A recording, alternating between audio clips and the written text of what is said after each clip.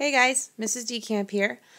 I'm making this video to remind you how we use the area model to multiply three-digit numbers by one-digit numbers. As you can see, I have the number 325 times 3. The first step is we need to stack 325 times 3 so that when we are done with the area model, we can line them up, add them up. So I am going to stack 325 times 3.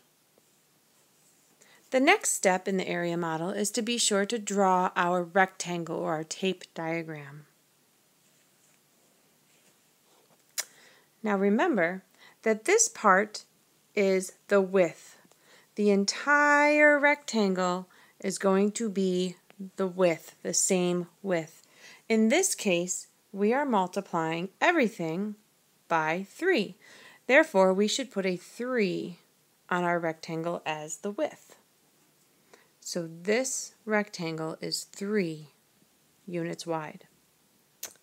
The next step is we need to take our three-digit number, which is 325, and we need to separate it out by place value by looking at the value of each digit. So we begin by looking at the 3. What is the value of the 3? I bet you said 300. Good job. So we write 300.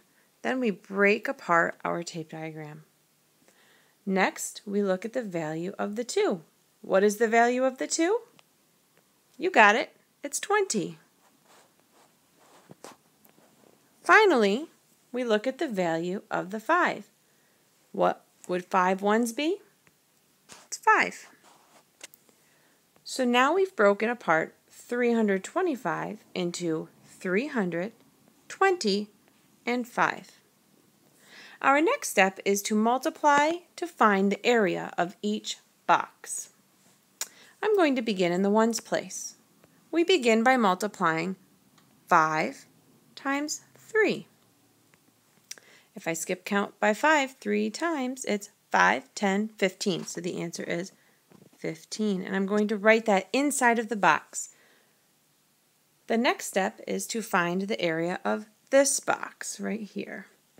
And I'm going to do that by multiplying the length, which is 20, times the width, which is 3. 20 times 3. In order to do that, we've learned that really awesome strategy that we can multiply 2 times 3 and get 6. And then we can tack on that 0 and that gives us 60.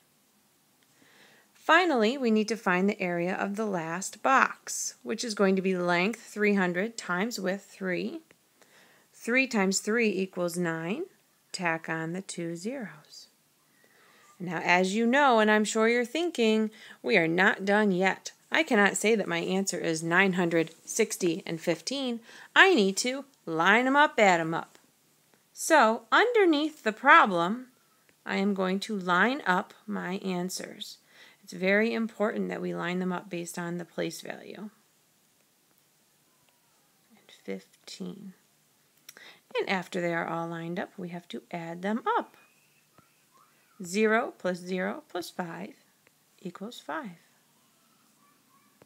0 plus 6 plus 1 equals 7. And the 9 comes down. So the answer to our problem is 975. And that is how we use the area model to multiply three-digit numbers by one-digit numbers.